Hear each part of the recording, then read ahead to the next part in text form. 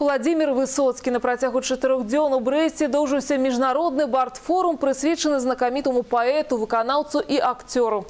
Сярод прыхільнікаў творчасці Владимира Сямёновича і наш корэспандэнт Ганна Галёта. З горадам над Бугам Владимира Высоцкага многае звязвала. У Брэст-Літоўску жыў дзед артыста, а сам ён не раз бываў тут праездам. Таму не дзіўна, што менавіта тут нарадзілася ініцыятыва правядзення міжнароднага бард-форуму імя Владимира Сямёновича. В этом году у нас культурная, год культурной столицы, и поэтому где-то в начале года прошлого, когда вот мы только получили это звание, было брошен такой клич. Помимо официальных мероприятий, мы еще будем поддерживать все инициативы, которые идут из э, народа, от людей.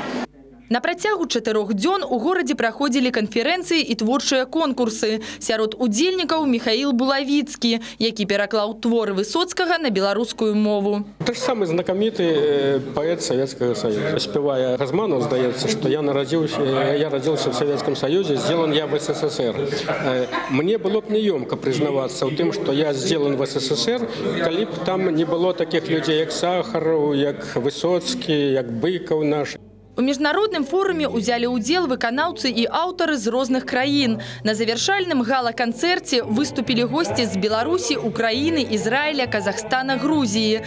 Акакій Гачачэладзе прыехаў з Тбілісі. Адну з песень Высоцкага Барт выканаў на роднай грузінскай мове. Культура бардов процветает и в Грузии, и в Беларуси, и мы должны познакомиться с друг с другом, общаться. Барды грузинские, тбилисские. Я при- передаю вам привет от тбилисских бардов.